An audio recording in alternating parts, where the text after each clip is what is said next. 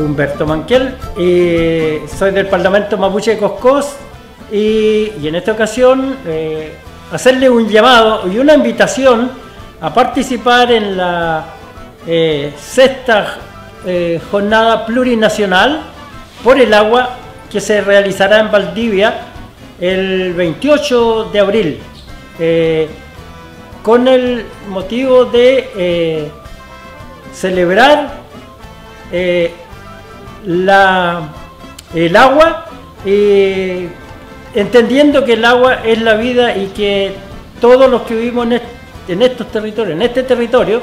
debemos defender el agua.